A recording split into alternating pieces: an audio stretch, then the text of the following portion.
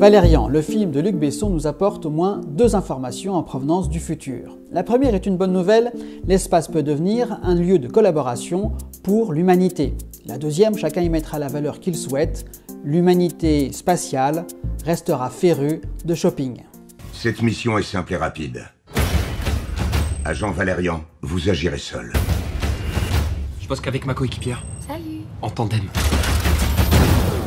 Le film débute par une succession de poignées de main échangées en orbite de la Terre. Là-haut, les nations de la planète collaborent à la construction d'Alpha, une station spatiale.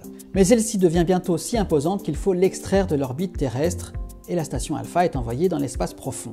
Et c'est ainsi qu'après l'arrivée des premiers extraterrestres, la station Alpha du film Valérian devient la ville des mille planètes. Dans son avenir, L'humanité spatiale a donc gardé une de ses caractéristiques contemporaines, son goût pour le shopping. Le film nous en fait la parfaite démonstration avec Big Market. Imaginez un souk titanesque, gigantesque mais virtuel. Les clients équipés d'Oculus Rift améliorés déambulent dans le plus grand centre commercial que l'on puisse imaginer. Un espace virtuel accessible grâce à la réalité augmentée, dans lequel se retrouvent virtuellement des millions de boutiquiers en provenance de toute la galaxie pour le plus grand plaisir de clients venant eux-mêmes virtuellement des quatre coins de l'univers. Et c'est ainsi que l'on apprend que les extraterrestres, eux aussi, aiment le shopping. Pour que ce centre commercial, virtuel et galactique, puisse exister, l'interface informatique ne pose guère de problèmes que de bons programmeurs puissent théoriquement, dès aujourd'hui, résoudre. Il en est de même de la perception haptique, la simulation de la perception physique des objets et des espaces virtuels. De nombreux laboratoires travaillent dès aujourd'hui sur des projets de gants ou de combinaisons qui rendront toujours plus précise la perception des univers virtuels. Ne reste à résoudre qu'un problème, mais il est de taille, c'est l'instantanéité des échanges dans un réseau informatique interstellaire. À l'échelle de notre planète, toute communication entre deux interlocuteurs se fait en temps réel. Mais dès que l'un des deux s'éloigne, il faut compter sur un temps de voyage des données entre ces deux personnes. Ainsi, si vous êtes propriétaire d'une boutique sur Terre et que votre client est sur la Lune, il faut compter deux secondes pour un aller-retour Terre-Lune des données informatiques. En effet, la Lune se trouve à peu près à une seconde lumière de la Terre. Et n'importe quel joueur en ligne vous dira qu'un ping de deux secondes, ça l'a grave. Comprenez par là que la réactivité de l'interface est très mauvaise à moins que votre client ne se trouve sur la station Alpha. Dans le film, elle voyage dans l'espace depuis 400 ans.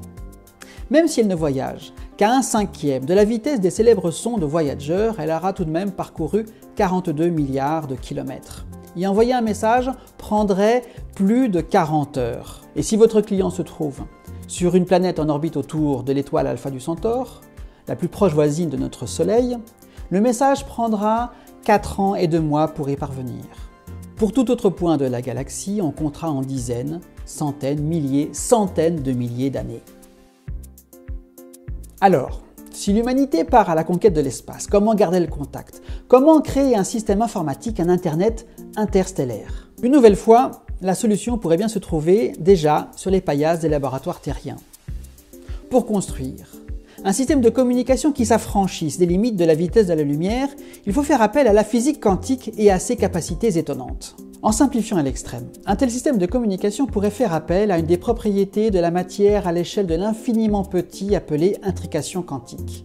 L'intrication est un phénomène qui lie intimement deux particules élémentaires au point que tout changement d'état de l'un se répercute sur l'autre, et ceci indépendamment de la distance qui les sépare à moins que d'autres caractéristiques quantiques de la matière de l'infiniment petit soient appelées pour construire ce système de communication, comme l'effet Zénon.